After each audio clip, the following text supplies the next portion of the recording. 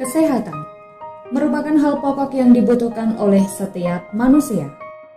Setiap orang berhak mendapatkan kehidupan yang sehat, dan setiap orang berhak mendapatkan pelayanan kesehatan. Rumah Sakit Umum Daerah Dr. Raden Suprapto Cepu hadir dengan pelayanan unggulan guna memberikan pelayanan kesehatan yang terbaik untuk masyarakat.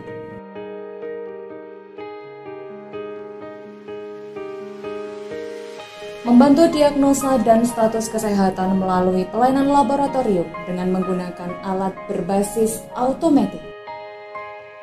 Mengedepankan hasil pemeriksaan yang cepat, tepat, dan akurat. Dengan didukung oleh tenaga analis kesehatan yang kompeten di bidangnya. Laboratorium kami memiliki layanan pemeriksaan di antaranya pemeriksaan darah lengkap, kimia klinik, hemostasis, serologi T3, T4, TSH, tes cepat molekuler TB HIV, rapid test, pemeriksaan bebas narkoba, dan pemeriksaan lainnya. Instalasi radiologi memiliki peralatan modern dan canggih dalam melakukan penegakan diagnosa. Pemeriksaan CT scan digunakan untuk memastikan diagnosa dan mengetahui lokasi suatu penyakit tertentu. Pemeriksaan ini melalui scan kepala, toraks, dan abdomen. Menegakkan diagnosa masalah kesehatan gigi dan mulut melalui pemeriksaan panoramik atau foto ronsen yang menggambarkan daerah rahang atas, rahang bawah, dan jaringan lunak lainnya dalam pemeriksaan gigi dan mulut. Menyajikan hasil pemeriksaan dalam bentuk gambar bergerak seperti video melalui USG 4 dimensi Selain digunakan untuk melihat perkembangan janin, USG 4 dimensi juga digunakan dalam diagnosa masalah kesehatan pada organ tubuh lain. Instalasi radiologi kami didukung oleh dokter spesialis radiologi dan tenaga radiografer yang berpengalaman. Penggunaan sinar radiasi pada beberapa peralatan radiologi telah diperhitungkan oleh tenaga ahli sehingga aman untuk dilakukan pemeriksaan. Fasilitas rawat inap khusus bayi baru lahir di Rumah Sakit Umum Daerah Dr. Raden Suprapto Cepu dilengkapi dengan peralatan yang dapat menunjang kehidupan bayi. Alat terapi sinar atau fototerapi digunakan untuk menangani bayi kuning akibat kadar bilirubin yang tinggi. Ventilator atau alat bantu pernapasan digunakan untuk membantu pernapasan bayi baru lahir yang mengalami gangguan pernapasan atau masalah pada organ paru-paru Selain itu, kami memiliki alat bantu pernapasan lain yang disebut dengan Continuous Positive Airway Pressure atau yang disebut dengan CPAP. Alat ini digunakan untuk bayi yang masih bisa bernapas sendiri namun membutuhkan bantuan alat untuk bernapas. Elektroencephalografi atau EEG merupakan salah satu tes diagnostik utama untuk pemetaan jaringan syaraf pada otak. EEG dilakukan ketika dokter mencurigai adanya gangguan otak atau ketika seseorang mengalami gejala-gejala yang berhubungan dengan gangguan otak. Konservasi gigi Bersama dokter gigi spesialis, kami memberikan perawatan dalam menjaga dan mempertahankan gigi Anda, baik fungsi maupun estetika. Pelayanan konservasi gigi di antaranya adalah perawatan dan pencegahan gigi berlubang, penambalan gigi, perawatan gigi patah atau lepas, bedah endodontik, dan pemutihan gigi. Instalasi fisioterapi memberikan pelayanan untuk mengurangi resiko terjadinya cedera di kemudian hari. Jenis layanan terapi pada instalasi fisioterapi di antaranya infrared, short wave diatermi, microwave diatermi, ultrasound, TENS, elektrik stimulator, terapi latihan, dan layanan terapi lainnya. Rumah Sakit Umum Daerah Dr. Raden Suprapto Cepu siap melayani kebutuhan perawatan dan penanganan kesehatan Anda. Kami bertekad, Anda sehat.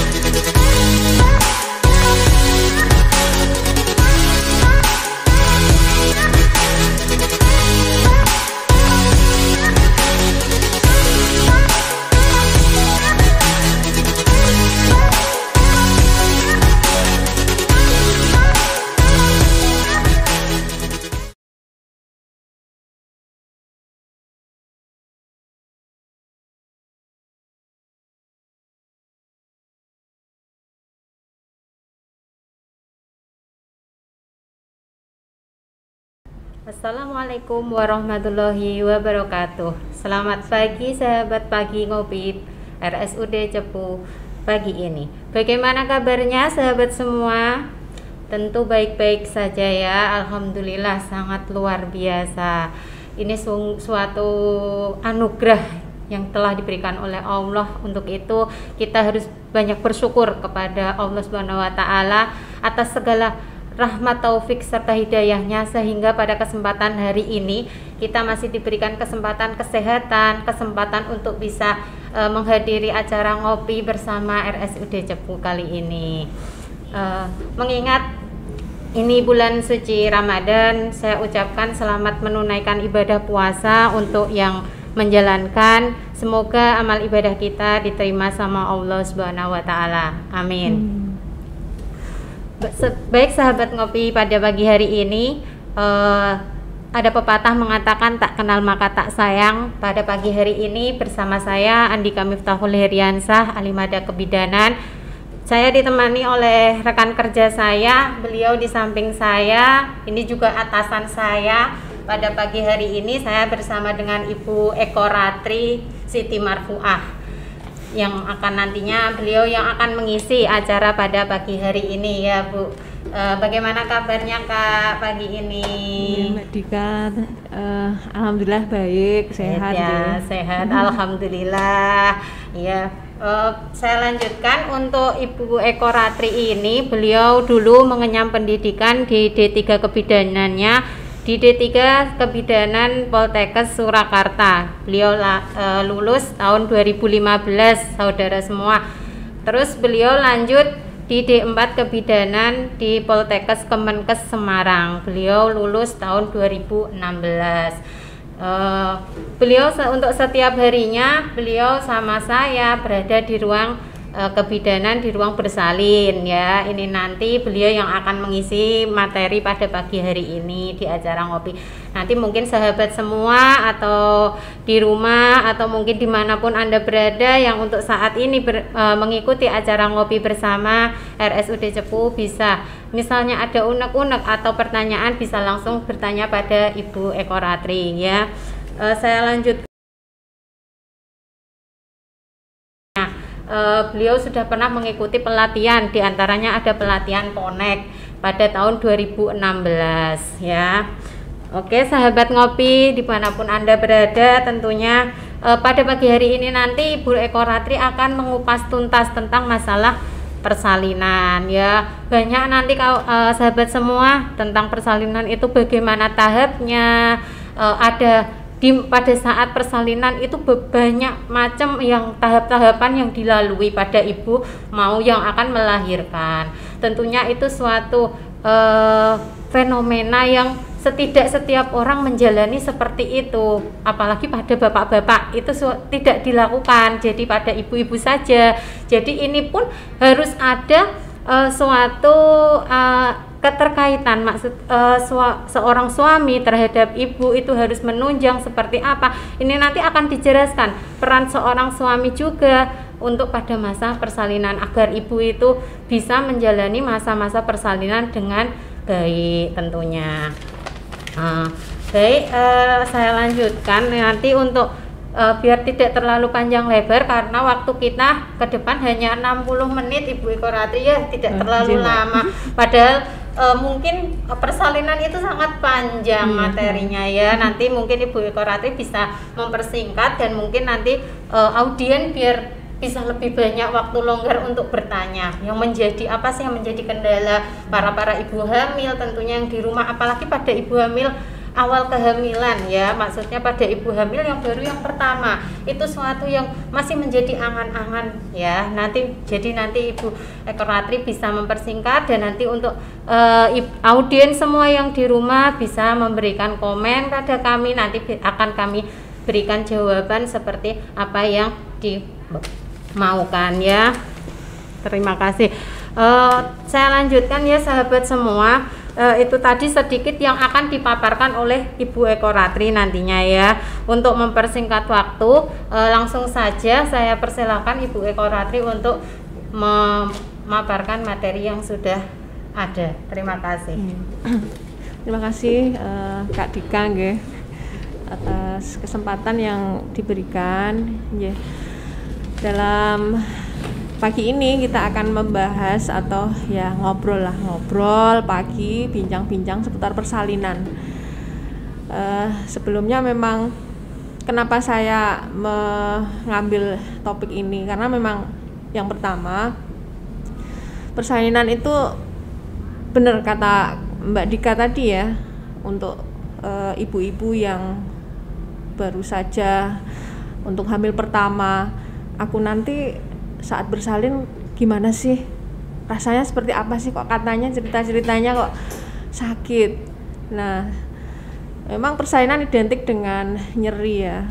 Cuma banyak sekali untuk uh, saat ini metode persalinan yang disajikan. Nah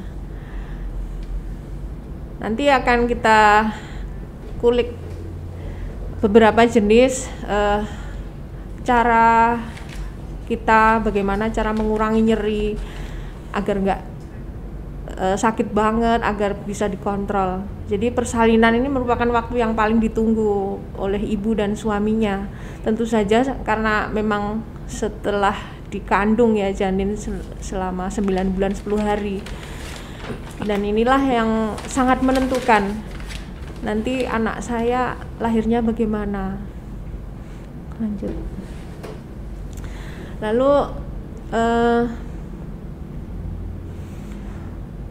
pada trimester ketiga memasuki 9 bulan ya, ibu hamil itu akan merasakan kontraksi. Hal ini merupakan pertanda bahwa tubuh ibu itu memberikan sinyal e, janin akan keluar.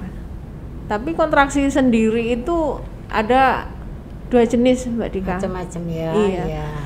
Yang pertama itu kontraksi palsu atau yang dalam dunia medis disebut Braxton Hicks. Hmm. Apa sih itu ya? Kontraksi yang memang sudah mulai ada pada e, ibu hamil atau mom sekalian kalau hamilnya sudah masuk 9 bulan ya kok rasanya perutnya kayak e, tegang gitu tegang. Tapi Bu Bidan perut saya iya ya, Bu, ya. sering kali Bu Bidan perut saya itu kenceng gitu Bu nah itu kencengnya gimana Bu kita hmm. harus tanya dulu kalau istirahat terus hilang nggak Nah, kalau kencengnya hilang, kontraksi hilang, saat ibu istirahat itu namanya kontraksi palsu. palsu. Jadi belum, belum memang belum mau bersalin ya. Yang kedua ya memang kontraksi mau bersalin ya, iya. terutama sudah mendekati hari perkila, perkiraan lahir iya. atau HPL. Kontraksi persalinan ini intensitasnya semakin lama akan semakin sering, sering. datangnya, berangsur-angsur datang dan disertai dengan keluarnya lendir darah. Yeah. Atau bahkan di sebagian ibu akan mengeluarkan cairan ketuban, merembes no, gitu. Yeah. Nah, tak apabila ibu-ibu hamil mendapati uh, kontraksi yang seperti ini, yeah. segera ke bu bidan setempat yeah. atau ke puskesmas kalau sekarang ya, yeah. ke satu. Yeah. Lalu persalinan itu sendiri bisa terjadi secara spontan atau uh, secara normal itu tergantung lima jenis hmm, mbak jenis, ya. yang pertama ini passage hmm. passage itu uh, adalah faktor jalan lahir jadi jalan lahir ibu itu bagaimana biasanya sudah di uh, diketahui atau diperiksa pada saat ibu mendatangi antenatal care yeah jadi ibu itu datang ke puskesmas, Bu, saya positif nih hamil. Yeah. Oh iya, Bu bidan puskesmas pasti pasti akan ngecek yeah. mulai dari tinggi badan ibu, yeah. terus lingkar yeah. lengan atasnya dicek. Terus untuk sekarang triple eliminasi ya, Mbak. Pemeriksaan HBsAg, uh, HIV sama sifilis kayak gitu. Bu kuping di, yeah. diberi pasti oh, yeah. karena itu merupakan uh, salah satu untuk melihat instrumen ya, ya instrumen ya. Uh, bagi nakes ya. setiap ibu hamil dapat buku itu untuk uh, catatan, catatan para ibu-ibu dari dari kehamilannya Hmm. Jadi jalan lahirnya pasti juga dilihat. Kalau ibunya pendek, aduh jalan lahir anu kalau ternyata jalannya agak non sewu agak ada kelainan, nggak nggak jalan seperti yang normal. Kemungkinan ada kelainan di tulang panggul, dicek seperti itu. Ataupun kalau sudah didapati seperti itu biasanya nanti pada sudah masuk trimester 2 kayak gitu di uh, ibu USG di dokter spesialis. Nanti biar dicek uh, ada kelainan nggak sih jalan lahirnya? Terus misalkan terkadang ibu itu udah kerasa jalan lahirnya bu itu kayaknya non sewu saya di kemaluan saya kok kayak ada benjolan kayak gitulah itu juga harus dilihat. Kalau misalkan ada benjolan nanti mempengaruhi nggak jalan lahirnya. Lalu yang kedua itu passenger. Passenger itu hasil konsepsi yaitu janin dan plasentanya. Ini juga bisa dilihat dari pemeriksaan USG janinnya bagaimana? Adakah kelainan? Terus plasentanya bagaimana? Menanam eh, tertanamnya plasentanya di tempat yang semestinya enggak menutupi jalan lahir enggak itu juga mempengaruhi lancarnya bersalin spontan. Yang ketiga oh iya saya belum menya, uh, mencantumkan power ya mungkin hilang yang ketiga sebetulnya power Mbak Dika iya yeah. ini power ini sangat menentukan ya kekuatan ibu yeah. uh, hisnya dan teknik mengejan ibu hmm Nah, di sini mungkin nanti kita akan bahas uh, mengenai manajemen uh, di kala satu persalinan agar ibu itu nggak kecapean dari yeah. powernya karena uh, me merasakan nyeri itu. Kebanyakan yang terjadi yang sampai uh, harus dirujuk ke rumah sakit itu satu ibu kelelahan. Yeah. Nah, memang teknik uh, untuk manajemen nyerinya yang mungkin belum berjalan. Jadi tidak sabar ya Bu Widannya terus jadi, ya. Terus ibunya pun juga sudah sakit nih Bu, aku nggak mau sakit sebetulnya iya. iya. Lalu psikis, psikis itu juga mempengaruhi yaitu psikologis ibu, kecemasan ibu dan kesiapan dalam menghadapi persalinan. Hmm, di situ mungkin nanti ya peran suami perlu sekali ya, ya sekali. Ya. Peran keluarga, peran ya. suami, penerimaan uh, ibu dan pasangan atau keluarga terhadap kehamilannya itu juga yeah. mempengaruhi sekali. Hmm.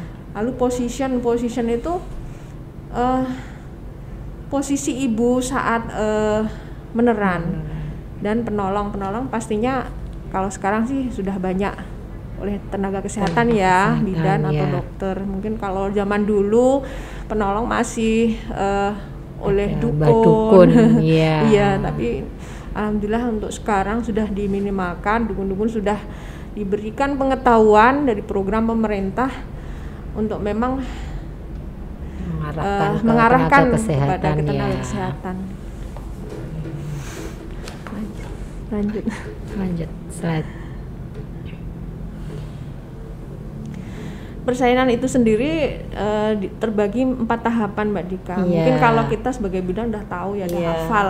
Yeah. Tapi untuk para ibu mungkin gimana yeah. sih uh, tahapan-tahapannya ini yang iya. bikin mereka jenuh kadang Yang pertama itu kala satu. Nah, yeah. kala satu ini kala menunggu yeah. atau menunggu pembukaan serviks atau jalan lahir. Yeah. Nah, fase menunggu inilah yang menjadikan para ibu itu bergejolak emosinya. Ada yeah. yang ya harus sabar ada ada yang kebanyakan kalau misalkan persalinan di rumah Jadi sakit itu ya.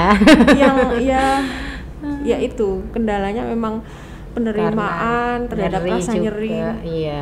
dan keluarga juga sama harus tenang dalam menemani hmm momen sekalian. Hmm. Lalu untuk kala dua ini mengejan, waktunya ibu mengejan saat sudah pembukaan 10. Lalu kala tiga ini melahirkan plasenta atau ari-ari ya. Kala hmm. empat ini uh, dua jam setelah persalinan uh, observasi perdarahan. Yang akan kita bahas saat ini lebih ke kala satu ya Mbak Dika. Mungkin yeah. untuk kala dua, kala tiga, kala empat bisa di lain kesempatan ya. iya. ya karena memang salah satu lagi. yang memang ya itu tadi banyak uh, faktor dan banyak sekali kita sebagai bidan mem ya, memberikan uh, memberikan itu motivasi, motivasi pada ibu agar tetap tenang tetap yeah. Iya.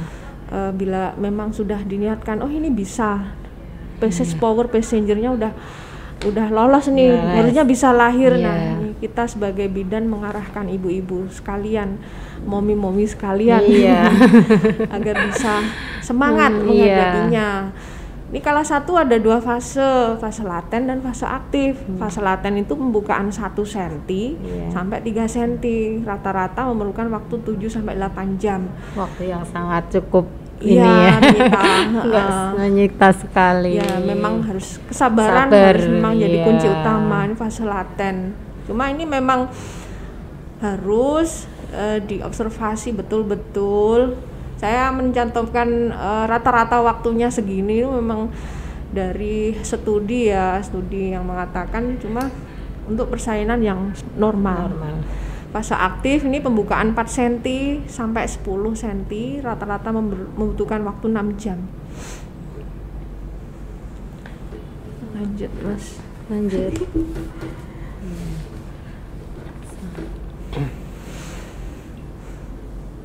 Kalau satu fase aktif, kalau kalau satu fase aktif tadi ini terbagi tiga subfase ya, Mbak. Iya Per- periode akselerasi, dilatasi maksimal dan deselerasi. Nah, kalau akselerasi itu mulai dari pembukaan tiga tadi iya ke 4 cm. Jadi berlangsung selama 2 jam. Lalu dilatasi maksimal nih mulai dari pembukaan 4 cm ke 9 cm ini berlangsung cepat dan biasanya his atau kencang-kencangnya sudah, sering. sering Nah, ini berlangsung selama 2 jam. Bayangkan buka 4 sampai buka 9 ini 2 jam. Dua jam Jadi iya. di- yang dibutuhkan ya kontraksi, Kontraksi. yang reguler yang adekuat, Adekuat, yang adekuat iya. iya. Gimana berapa sih kontraksi yang adekuat yang bagus? Dalam 10 menit Ibu kalau misalkan mau menghitung kontraksi lihat jam.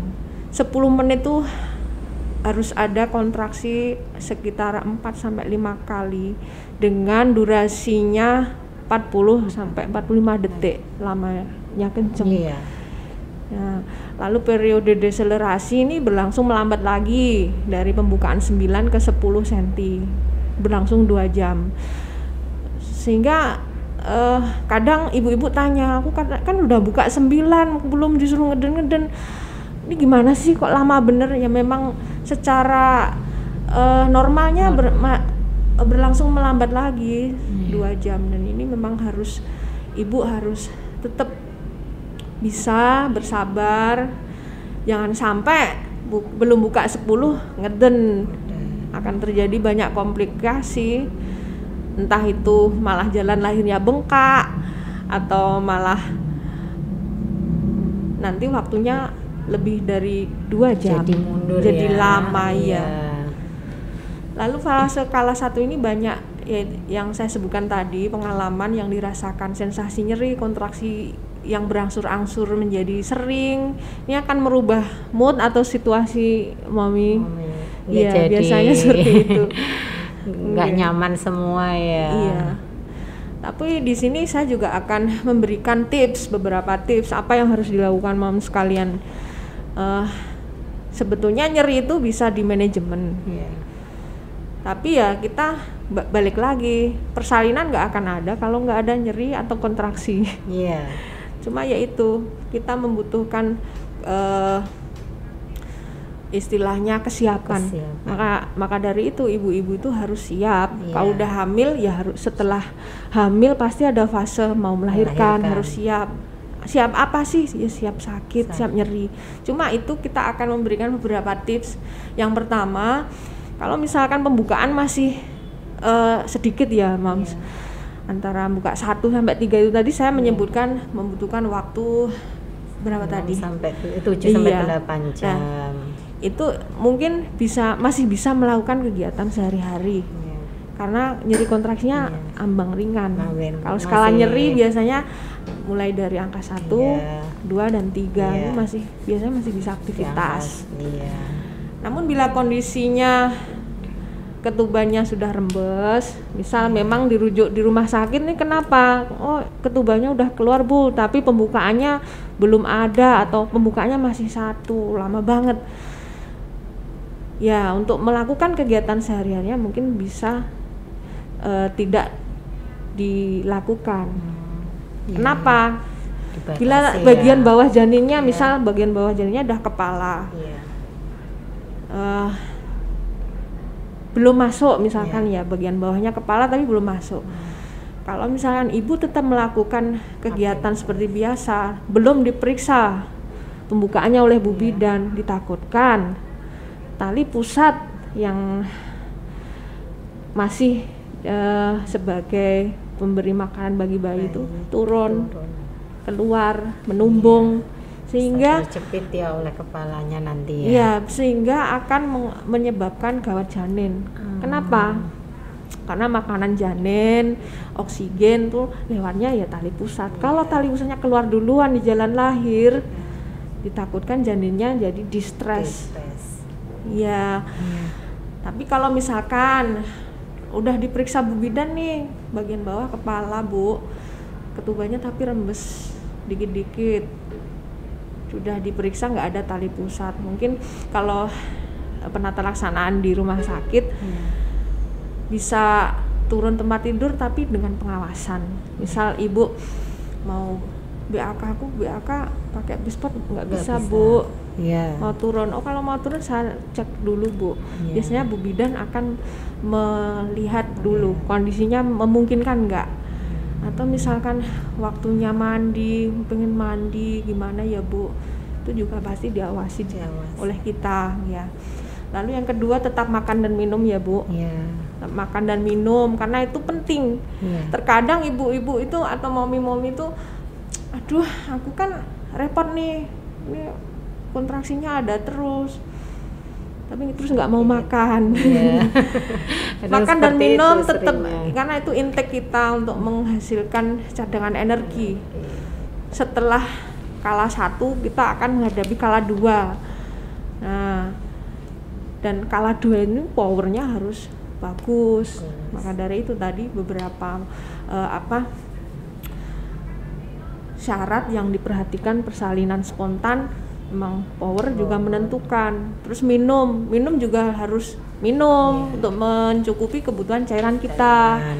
Nah, biar nggak dehidrasi. Terkadang kelelahan dehidrasi ibunya. tapi kan udah dipasang infus bu kalau di Iya. rumah sakit. Nggak kalau pasang infus memang kalau programnya ibu diinduksi persalinan lewat infus infusnya itu diteteskan sedemikian rupa sesuai dengan advis dokter petunjuk dokter Tidak hanya untuk memberikan obat perangsang ya. ya.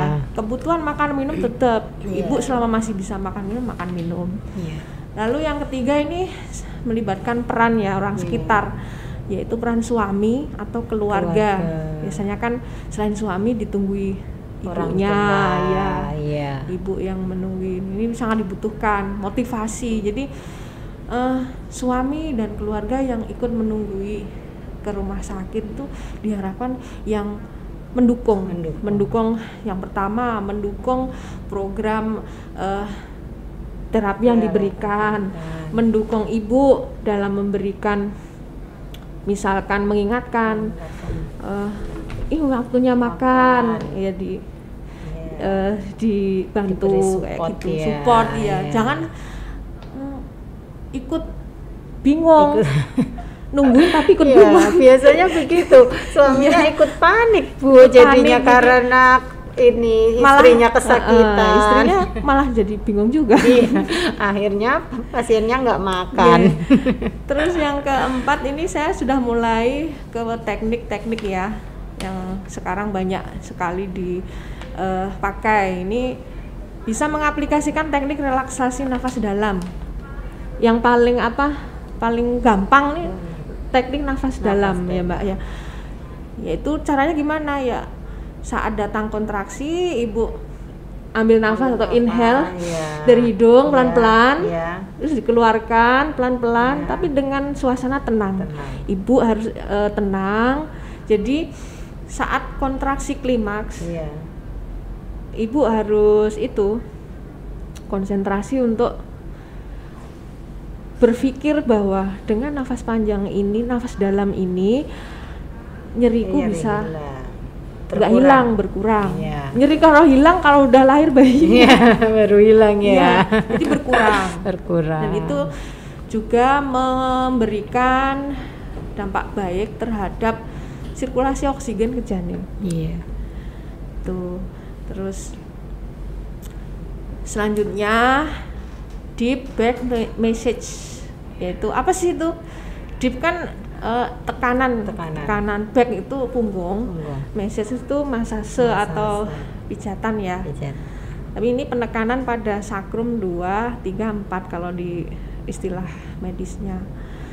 Di mana sih itu kalau Awamnya. awamnya Iya. eh, ibu-ibu kita, Iya. nenek-nenek kita, Iya. sing loro ki nggon bangkean kene lho, Nduk. Iya. Nah, bangkean sini. Iya.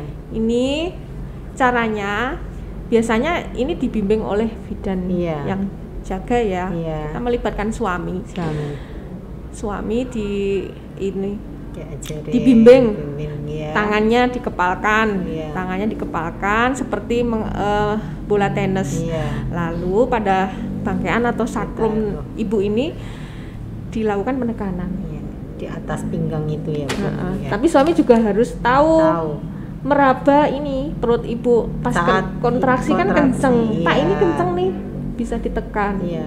Jadi pas waktu Nah, bisa juga keras ya, Heeh. Bu ya. bisa juga dikombinasikan sama teknik nafas dalamnya. Iya. Suami memberi tekanan di punggung, ibu nafas Iya. dalam. Iya. Nah, insya Allah bisa mengurangi nyeri. Terus diakhiri setelah kontraksi berhenti. Berarti dilakukan terus sampai kontraksi itu menghilang. Menghilang, ya. diturunkan intensitas tekanannya. Oh, gitu. begitu. Nanti Iya. pas nggak kontraksi, ibu Istirahat. bisa kalau mau minum apa Iya. bisa. Iya. Terus pemberian metode ini eh, menyebabkan ibu nyaman. Nyaman. Nyaman Iya. biasanya. Selanjutnya ini ada endorphin message. Bedanya Hmm. sama deep back message. Ini kalau endorphin message ini dilakukan bisa dengan duduk A- atau kalau mami sudah nggak mau nggak kuat duduk bisa miring Hmm, ya ya. miring. Nah Sambil ini miring. seperti pada gambar ya. dilibatkan suami juga dilakukan Iya. pemijatan ringan mulai dari tangan, Iya. lengan. Ini pundak kalau punggung sudah mulai teknik yang di Teknik back message ya sampai kaki juga boleh kalau perut kan Biar jangan relax karena kan ya. memang itu Ah, kontraknya iya. di perut nah kalau kakak Dika lihat Mhm. eh, keseharian selebritis kita Iya. nih yang kemarin Nikita Willy Iya. itu sangat bagus sekali persiapan Iya. persalinannya saat hamil aktif ikut kelas prenatal kelas yoga iya. terus saat persalinan jauh-jauh sampai ke Los Angeles Los Angeles cuma biar bisa mengurangi ternyata di rasa sana nyerinya. juga bersalin spontan, Spontan, Nah, ini iya. juga dilakukan endorphin message Hmm, iya, iya. tuh Mungkin itu nanti bisa terus kita di terapkan rumah di sakit sini. di- bisa dilakukan nggak sih bisa juga Iya. Tapi kan pasien misalkan di infus di rangsang persalinannya ya tetap bisa dilakukan kalau ada kemauan dari pasangan ibunya. Hmm, Bu. Iya. Pak, ini mau nggak nyoba teknik ini? Iya. Bisa kita tawarkan. Iya. Lalu selanjutnya ini mandi air hangat. Nah, ini merupakan eh, apa? metode yang penting main metode saya bilang kenapa main metode dari wa- water bird Ber- oh. Kenapa sih kok ada teknik water bird yaitu ibu dimasukkan di bathtub ya mbak ya Iya. mulai dari pembukaannya sudah eh, lebar masuk di bathtub dan airnya hangat Hmm. air hangat itu merendam se perut ibu itu Menutup akan perut. mengurangi Iya. nyeri sekali itu Hmm. berkurang nyerinya air hangat membuat rileks Iya. sehingga nyaman dan nyeri berkurang Berkurang. kalau dilanjutkan terus kan eh, untuk waterbird kan memang setel- Iya. dipimpin persalinan juga di, Di dalam, dalam air, air, iya. tapi untuk waterbird memang di rumah sakit Di rumah tidak belum dianjurkan karena ya. yang kita hadapi kan memang eh, kasus-kasus Kasusnya patologis ya Iya, sudah sudah beda. merupakan rujukan dari vaskes 1 cuma kalau misalkan Berarti ini untuk mandi air hangat itu hanya bisa dilakukan untuk yang perjalanan persalinannya memang normal, ya, Normal, Bun, iya. ya. Iya, lalu ada hypnobirthing. Hypnobirthing ini metode self hypnosis atau hipnotis diri sendiri. Jadi eh, ibu mengaplikasikan beberapa teknik yang didapat pada saat mengikuti kelas atau kursus hipnoterapi hipnoterapi. Iya. Biasanya mulai dari hamil 32 minggu Hmm. Silakan kalau misalkan di daerah sekitar ada Bu Bidan yang sudah berpelatihan hypnobirthing sangat cocok sekali, bagus sekali bagi momi-momi masa kini yang mau eh, mengurangi nyeri.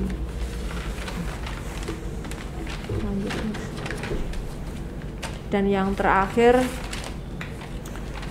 berdoa Iya. sesuai dengan agama dan kepercayaan agar diberi kelancaran. Iya. Biasanya mami masa kini sudah pinter kok, Oh, sudah iya. punya Android. Android.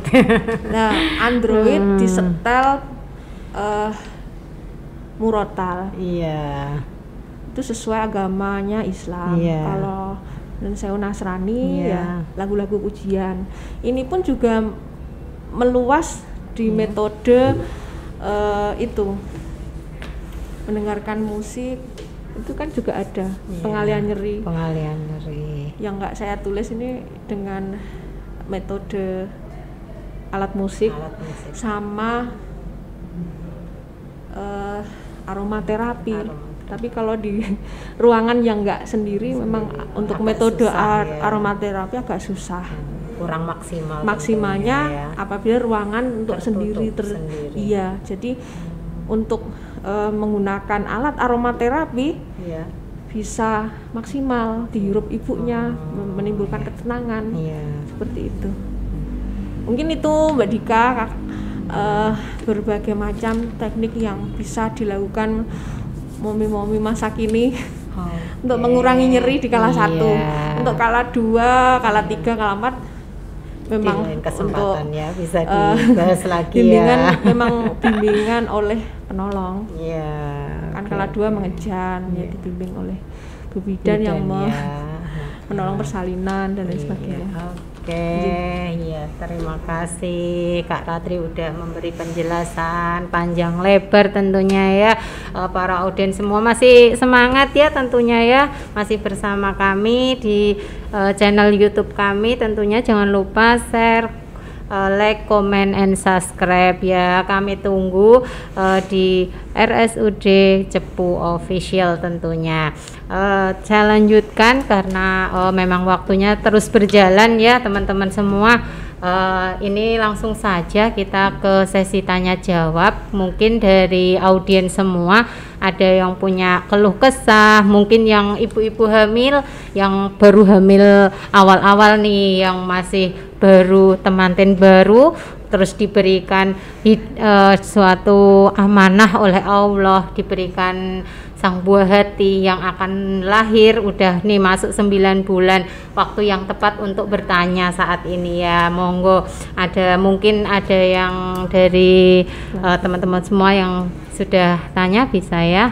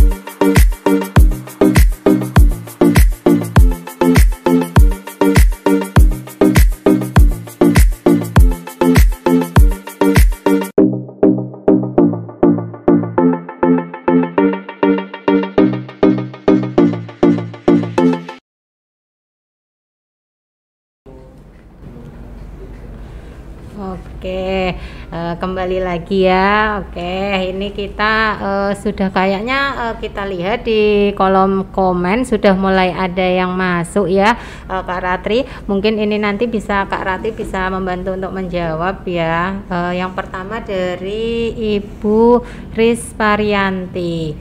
Assalamualaikum kakak semua, hmm, salam sehat ya, sehat, alhamdulillah. Mohon izin bertanya kak, untuk persalinan dengan dipacu karena pembukaan yang lama beneran sakit kak. Bagaimana untuk mengatasi ketakutan akan resak rasa sakit itu? Nah bener kak. Ini seperti yang kakak jelaskan tadi itu waktunya kan panjang kan itu kak Ratria sampai uh, untuk pembukaan masih satu sampai uh, yang masa iya tiga aja masih tujuh jam. Kadang pasien itu ada yang mungkin dia nggak tahan rasa sakit kak di situ. Makanya itu benar yang ditanyakan sama Buris Parianti ini bagaimana mungkin agar pasien itu nggak cemas menghadapi bisa berlangsung masa persalinannya dengan aman. Monggo Kak Ratri bisa dijawab ya. Oke, Waalaikumsalam warahmatullahi wabarakatuh. Bunda Riris mungkin ini uh, cemas karena cucunya mau lahir apa ya? Kayaknya begitu ini. Iya pembukaan uh, yang lama terus akhirnya diinduksi atau dipacu. Dipacu sendiri kan sebetulnya kenapa sih namanya dipacu? Uh, istilah dipacu atau diinduksi itu kan nama lainnya juga dirangsang. Kita tahu berarti rangsangan itu sebetulnya cuma dirangsang aja dan nyeri itu kan secara ilmiah iya, iya. memang sudah ada. sudah ada. Cuma kita memberikan rangsangan agar nyeri itu datangnya lebih adekuat, lebih kuat, teratur intense, ya. sehingga ya. membuat janin akhirnya dengan in, intensitas nyeri yang adekuat dan teratur itu mendorong janin ke jalan lahir untuk dapat turun melalui jalan lahir dan menambah akhirnya membuka uh, serviks atau jalan lahir dan diharapkan membukanya terus lebar. Lebar lebar ya. lebar lebar terus lahir ya. Iya. beneran sakit. Saya sendiri juga merasakan sih ya. Ya sakit. Kalau saya bilang enggak ya saya bohong dong. Iya. Karena ya, memang sakit, sakit ya, memang ya, sakit, ya. ibu bersalin itu uh, memang saya pun juga merasa ya, aduh iya. ya ini mulai his datang nih iya. aku harus ngapain nah, nah seperti yang itu. saya paparkan tadi beberapa teknik banyak teknik monggo nanti bisa di uh, aplikasikan kepada putrinya yang mau melahirkan cucu bunda Riris ya nafas dalam dok yeah. sering diingatkan itu ataupun bisa nyoba ah aku mau nyoba di back message yeah. uh, di back message tadi saat saya ada di gambar ada pas melawan di message bisa miring miring ke kiri. Oh, miring ke Kenapa kiri. sih miring ke kiri ya? Yeah. Karena miring ke kiri itu menghindarkan penekanan VK kava inver, vena, kava inferior, inferior yang adanya yeah. di iya. sebelah kanan ah, bawah ibu. Yeah. Jadi Biar kalau miring kiri diharapkan sirkulasi ke darah ibu ke janin yang membawa oksigen lancar. Yeah, Satu yeah. itu. Kenapa miring ke kiri? Lalu uh, setelah miring yeah.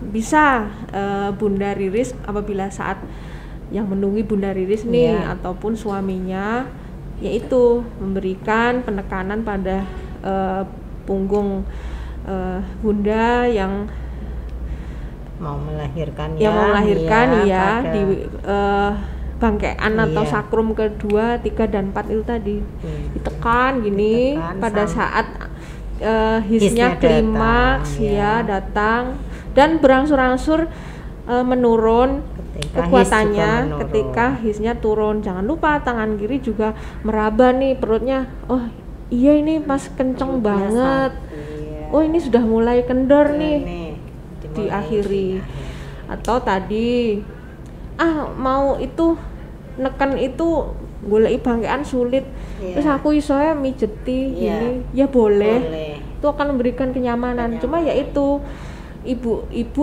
yang mau melahirkan atau mami yang mau melahirkan itu harus diberikan positif vibes, vibes. Uh, positif, yang positif. Uh, pemikiran yang positif bahwa kamu bisa kamu, kamu bisa. bisa melalui ini dan nyeri ini akan berkurang, berkurang ya. itu yang paling penting kalau penjenengan semua pernah tahu proses hipnobirthing Iya. Iku itu eh, pemandu Iya. pemandu hipnotis Iya. akan berulang-ulang mengatakan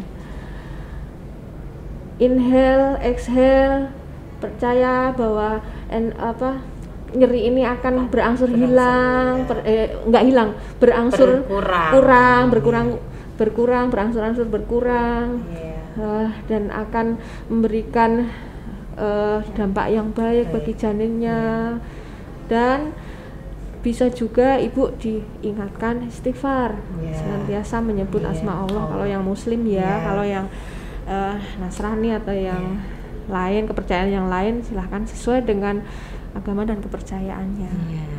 Seperti itu mungkin Iya. bisa membantu ya bun Iya, eh, itu tadi Bunda Riri sudah eh, jawaban dari Kak Ratri. Semoga aja eh, bisa memberi wawasan bagaimana sih nanti peran orang tua atau keluarga, peran suami di saat sang istri sedang mengalami kesakitan di saat masa persalinan. Tentunya memang itu suatu waktu yang sangat panjang, tapi insya Allah kalau misalnya nanti eh, sang ibu, sang yang akan melahirkan itu yakin bahwa bisa menjalani masa persalinannya itu dengan baik, berjalan dengan lancar, rasa nyerinya dengan di eh, dukung keluarga itu bisa berkurang, insya Allah lah nanti akan berjalan dengan baik dan rasa nyeri itu akan teratasi. Eh, Oke, eh, lanjut ya Bunda. Ini untuk eh, pertanyaan yang kedua, Kakak Ratri dari Ibu Novia Indah. Assalamualaikum Ibu Bidan. Mau menanyakan pada saat persalinan bolehkah keluarga pasien memberikan minum air akar Fatimah buat ibu yang akan melahirkan? Bagaimana efek yang terjadi? Terima kasih. Eh, Bunda Ratri udah Mustin udah mengerti ya. Biasanya orang-orang awam orang-orang desa itu kalau dikasih tahu sama or tetangganya atau mungkin orang yang dituakan di situ apalagi seperti itu. Itu biasanya manut dia mengikuti.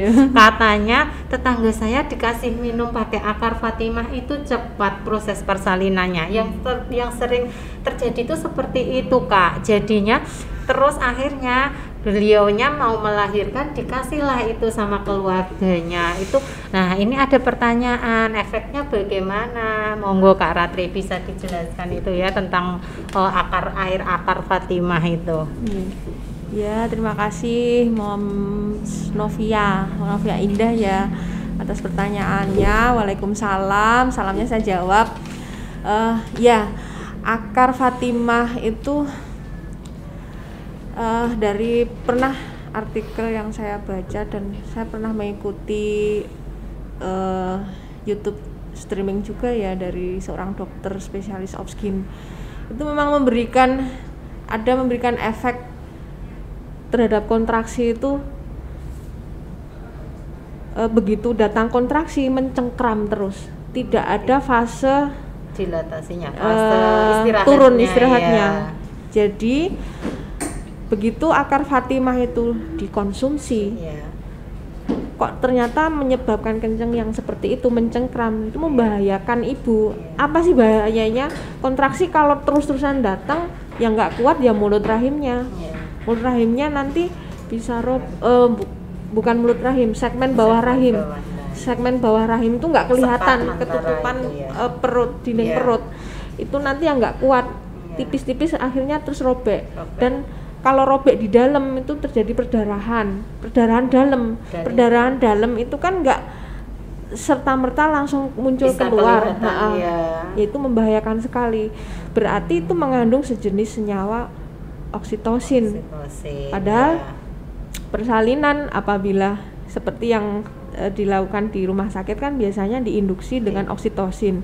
Itu pun sesuai dengan anjuran dokter, advis dokter ya. eh, seberapa unit yang harus diberikan. Iya. Dalam satu ampul tuh 10 unit. 10 unit. Biasanya untuk persalinan separohnya. Iya. Separohnya pun harus diencerkan dengan cairan infus Iya. tetesannya itu harus di Atur, atur ya, mulai dari tetesan kecil empat tetes kita naikkan sampai men- mendapatkan his atau kontraksi yang adekuat itu harus kita awasi terus Iya. bayangkan kalau misalkan air rendaman rumput Fatimah itu mengandung oksitosin tersebut kita nggak tahu itu berapa unit itu di yang terkandung dalam eh, gelas yang mau Iya. diminum itu jadi sangat berbahaya sekali Berbahaya. dan tidak dianjurkan untuk dikonsumsi ibu saat mau bersalin. Apabila sudah di rumah sakit, biasanya eh, Bu Bidan akan tetap memberikan instruksi, ibu, bapak, mami, boleh makan. Ap- tapi kalau misalkan makan dari luar Iya. atau minuman dari luar, konsultasikan ke kita dulu. Iya. Jenisnya apa dan apa yang harus diminumkan. Iya. Jadi kita biar tahu juga karena saat observasi persalinan di ruang bersalin itu menjadi menjadi tanggung jawab kita. Iya. Kalau ternyata ya ibunya dicolong ke minum itu tanpa sepengetahuan, ternyata setelah per- atau saat persalinannya terjadi kegawatan, kita pun juga tanda tanya, ini kenapa? Kami sudah melakukan pengawasan Sesuai yang ketat sesuai prosedur. prosedur, tetapi kok ternyata tiba-tiba terjadi perdarahan yang mengharuskan kalau misalkan sudah ya nauzubillah min zalik ya mbak Iya. eh, terjadi seperti itu sat- terjadi perdarahan di dalam satu-satunya jalan ya harus dilakukan tindakan operasi, Operasi, iya. padahal kita sudah melakukan prosedur sesuai advis dokter harapannya bisa anjurannya seperti baik ya. iya kok ternyata masih bisa terjadi seperti ini ya yang salah di mana oh ternyata iya ini dibawakan se- sebotol Minuman. cairan se- itu ada rumah. Biasanya ya. Iya.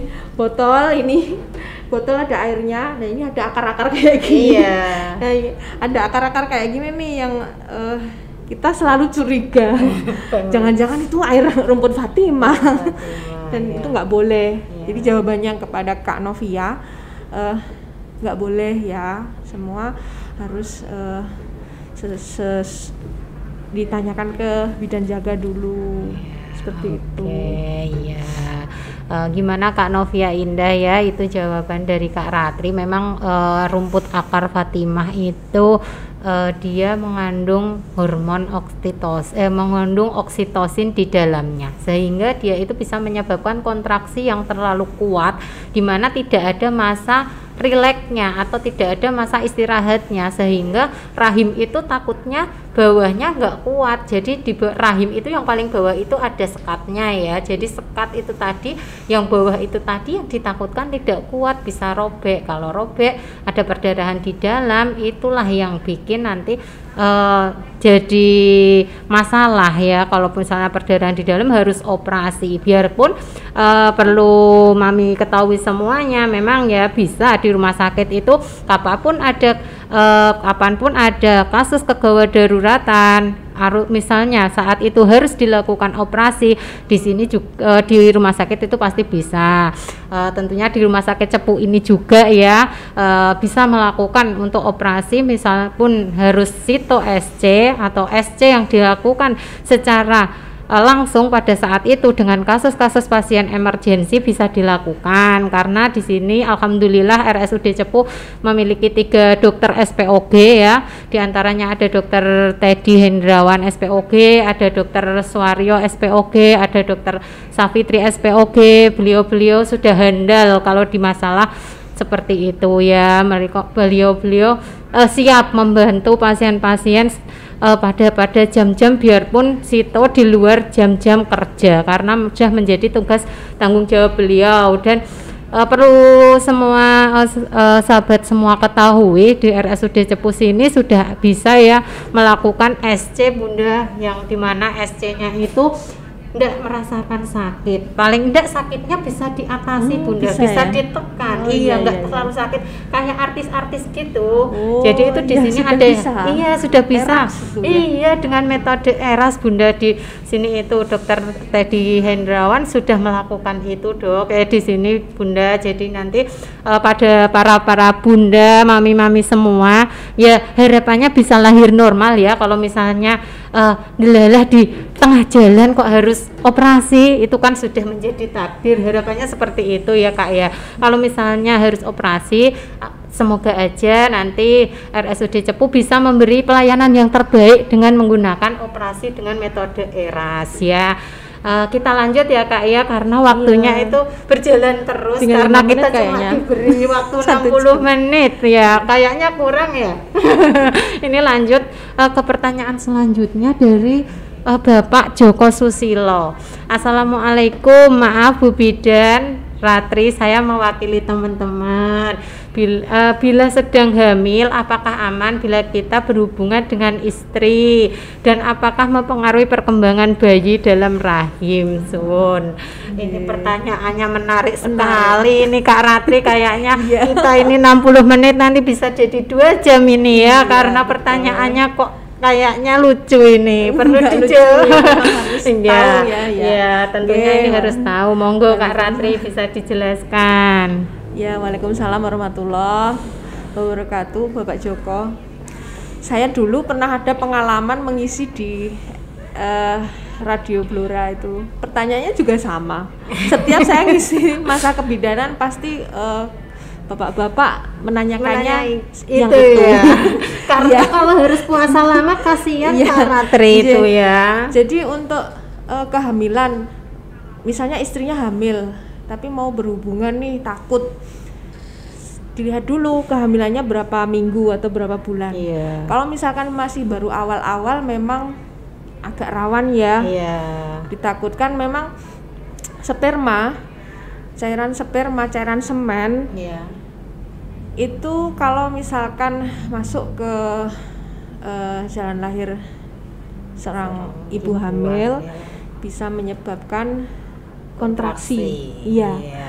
Apabila hamilnya masih hamil muda, ya. takutnya kontraksi itu akan berpengaruh terhadap Kehamilan. uh, kehamilannya memang. Ya. Entah itu nanti pernah yang uh, terjadi keguguran, ya. itu bisa. Oh tapi kalau misalkan e, mommy kehamilannya sudah enak makan sudah enak yeah. biasanya mulai masuk trimester 2 ya kak yeah.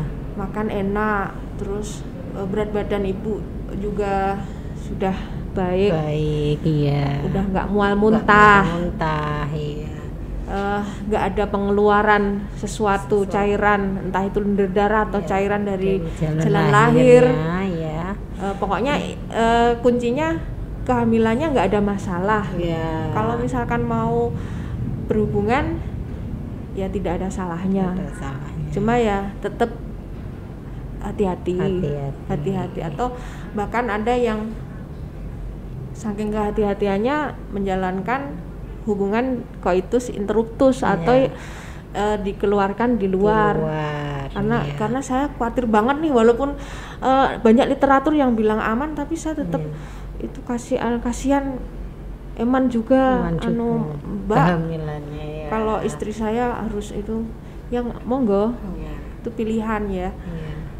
kalau ya. mempengaruhi perkembangan janinnya sih insya Allah enggak ya per perkembangan janin itu kan mulai dari trimester 1 yang paling menentukan di iya. mana di situ banyak uh, mulai bertumbuh mulai dari uh, bentuknya yang dari Jadi kecil terus kumpalan ya. terus terbentuk tangan. tangan Kalau untuk sperma cairannya sih nggak mempengaruhi, sih, lebih ya. ke kontraksi, kontraksi rahim ibunya. Iya. Jeng, itu ya Pak Joko. Nah, terima Semoga membantu apabila saya ada uh, masih kurangnya mungkin kalau misalkan kita bertemu di lain kesempatan bisa didiskusikan kembali. Iya. Uh, Oke, okay. itu Pak Joko ya sudah dijelaskan Bu Ratri. Monggo boleh. Itu uh, kesepakatan antara uh, Pak apa ke suami dan istri. Jadi kalau misalnya uh, memang menghendaki seperti itu, cari amannya. Kalau misalnya memang uh, lebih baik dikeluarkan di luar, ya monggo. Kalau misalnya mau di dalam, lihat dulu kondisinya. Kalau memang kondisinya memungkinkan ya tidak masalah dan semua itu tidak ada pengaruhnya ke bayinya ya Kak Ratri ya uh, kita lanjut ya Kak Ratri kok ini ada pertanyaan lagi dari Kak Oktavia Nur Assalamualaikum Bu, mohon maaf sebelumnya pertanyaannya out of the book. Ini saya menikah sudah satu tahun terus tidak berhubungan. Habis itu pipis ke, pasti keluar banyak cairan putih. Kadang sampai seper, seharian juga. Jadi ini kayaknya dia kayak keputihan gitu ya Kak Ratri ya. Ini oh. jadi dia setiap hari itu sudah menikah satu tahun terus setiap hari kalau pipis keluar cairan seperti itu. setiap berhubungan. Eh, setiap, setiap berhubungan iya setiap berhubungan habis itu pipis keluar, keluar banyak, banyak cairan, cairan putih. putih. Iya terus nah yang ditanyakan apakah cairan tersebut sperma dari suami saya kemudian kalau misal promil apa yang harus saya lakukan jadi ini kayaknya udah menikah sudah satu tahun sudah berharap ada sang buah hati tapi ternyata belum diberikan. Nah, ini mau promil rencananya tapi uh, sudah memiliki masalah seperti itu dulu. Lah, ini uh, Kak Okta tanya ya. Iya. Uh, monggo Kak Ratri bisa dijelaskan ya. Iya, Waalaikumsalam Kak Oktavianur ya. Terima kasih pertanyaannya. Uh, gini, saya harus tahu dulu keseharian Kak Oktavia ini mengalami keputihan nggak? Oh ya. iya. Jadi itu permasalahan uh, di, dari awalnya dulu ya Kak ya. Kondisi Momi sendiri, apakah sering keputihan? Yeah. Satu, keputihannya yang bagaimana? Yeah. Yang berbau, yeah. sampai berbau, sampai kental kehijauan yeah. atau enggak? Yeah. Nah itu kalau misalkan terjadi seperti itu, kemungkinan uh, kesehatan reproduksinya ada gangguan. Masalah. Itu yang pertama. Yeah. Terus yang kedua setiap berhubungan habis itu pipis keluar banyak cairan putih apakah itu cairan sperma semisal uh, tadi ternyata terjadi keputihan tapi nggak berbau tapi yeah. keputihannya bening yeah. satu itu bisa aja cairan keputihannya Keputihan. kak uh, kita oh, yeah. yang kedua semen atau cairan sperma itu juga uh, bentuknya putih ya, ya hampir bisa sama bisa ya juga jadi ya. tapi jangan selalu berharap kalau cairan keluar hmm. spermanya nggak masuk oh iya iya begitu keluar di dalam hmm. ya itu kalau sperma yang bagus gerak yeah. gerakannya yeah. motilitasnya bagus tuh pasti sudah masuk, akan ya. masuk ke rahim mencarilah itu uh, sel telur. Sel telur. Kalau iya. sel telurnya ada, siap dibuahi, pasti ketemu. Nggak usah khawatir tuh cairannya ya iya. keluar kak itu. Iya. Pas aku habis berhubungan pipis tuh keluar terus, berarti iya. spermanya keluar dong. Iya. Enggak. Belum tentu ya. Sperma kan nggak ya. bisa dilihat secara kasat mata, mata ya. Iya. Bisa dilihatnya lewat mikroskop. Mikroskop Kalau misalkan mau promil, monggo Kak Octavia mungkin bisa konsultasi ke dokter kandungan ya. Kandungan ya. Cari biasanya cari penyebabnya dulu di, di anamnesa ditanya-tanya dulu hmm. bagaimana uh, menstruasinya hmm, ya. Kalau menikahnya kan juga baru satu baru tahun satu ya. Tahun ya. Nah, ataukah memang hmm. saat bertemu dengan suami melakukan hubungannya memang bukan masa subur? Hmm. Misal suaminya kerja di luar kota, LDR ya, pulangnya ya, ya. pulangnya pas pas nggak subur nggak subur itu juga bisa. bisa jadi ketemu ya akhirnya itu yang menjadi kendala kok belum hamil-hamil kayak gitu ya. pasti dicari dulu okay. Uh, dari awal kenapa bagaimana kondisi kesehatan reproduksi uh, kedua uh, antara ibu, dan suami, suami. Yeah. suaminya bagaimana juga pasti yeah. ditanyain yeah. nggak melulu kalau belum hamil-hamil pasti yang masalah si cewek ceweknya kenapa sih kok nggak hamil-hamil pasti yeah. kamu itu yeah. harus ditanyai dulu ya, ya kalau misalkan benar-benar mau promil silakan yeah. kedua pasangan harus berkomitmen dulu yang yeah. pertama yeah. menerima apabila terjadi uh, keadaannya memang kesehatan reproduksinya ada kendala biasanya yeah. dokter akan mengarahkan misal tadi yeah. ada keputihan ya diobati dulu keputihannya setelah itu uh, pasti ada kunjungan ulang kunjungan, ulang iya. menggali kenapa itu bertahap ya atau bahkan ya. oh ternyata ini harus ditata nih iya. uh, masa suburnya, ini kamu uh, mensnya kan seperti iya. ini misal uh, 28 hari iya. tuh dihitung mensnya nanti pasti nanti akan dibimbing oleh iya. uh, dokter, dokter spesialis kandungannya ya. monggo Oke. bisa diperiksakan Iya.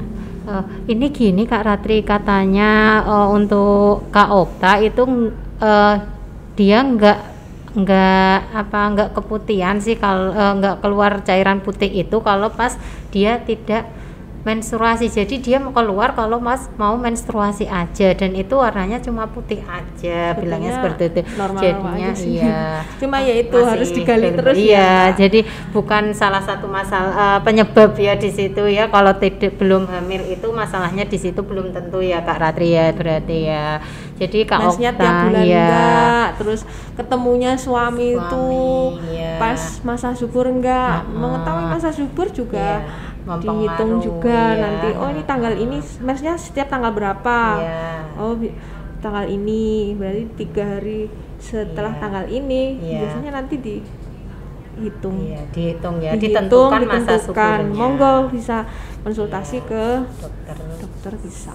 Spesialis ya oke. Itu Kak Okta ya. Eh, tadi eh, sudah dijelaskan Kak Ratri. Jadi yang keluar yang warnanya putih itu belum tentu itu cairan sperma ya. Jadi eh, bisa, Bisa. jadi Bisa juga angka kemungkinan itu sperma angka kemungkinan bisa juga dari keputihan atau eh, cairan putih yang dihasilkan oleh tubuhnya jenengan sendiri. Jadi untuk kalau misalnya eh, kembali diketerkaitkan dengan masalah promil, jadi gini, kalau misalnya jenengan mau menginginkan promil, memang harus konsultasi dengan dokter kandungan karena kan nanti butuh pemeriksaan pemeriksaan khusus ya. Jadi nanti misalnya eh, di pemeriksaan nanti misalnya ada pemeriksaan dari spermanya sendiri, pemeriksaan dari sel telur sendiri seperti apa, eh, kesuburannya seperti apa, siklus menstruasinya seperti apa dan nanti akan dibimbing untuk masa eh, pembuahan itu kan bisanya di masa subur. Jadi jenengan suburnya kapan itu harus ditentukan seperti itu. Eh, terima kasih. Ini mungkin sudah 60 menit berlalu Kak Ratri, terasa ya. terasa iya mungkin di rumah eh, sahabat ngopi semua masih banyak unek-unek Kak Ratri yang mau ditanyakan. Cuma karena eh, keterbatasan waktu mungkin eh, nanti bisa disambung di lain kesempatan ya Kak Ratri ya. Eh, untuk itu karena waktunya sudah eh, habis karena kita cuma ada waktu 60 menit ya mungkin eh, di sini dibuat seperti itu biar eh, sahabat ngopi semua penasaran akan ada apa lagi sih setelah ini. Jadi jangan lupa komen like share and subscribe ya di YouTube kami di RSUD Cepu Official tentunya ya. Nanti akan ada kuis apa ya kiat-kiat menarik lagi di balik setelah ini. Nantikan saja. Nanti kami eh, Andika Miftahul Heriansah pribadi mewakili Kak Ratri juga sudah menemani Anda dalam 60 ke dep- menit ke depan. Kalau ada kurang lebihnya mohon maaf. Kami mohon undur diri. Wassalamualaikum warahmatullahi wabarakatuh Terima kasih. Terima kasih.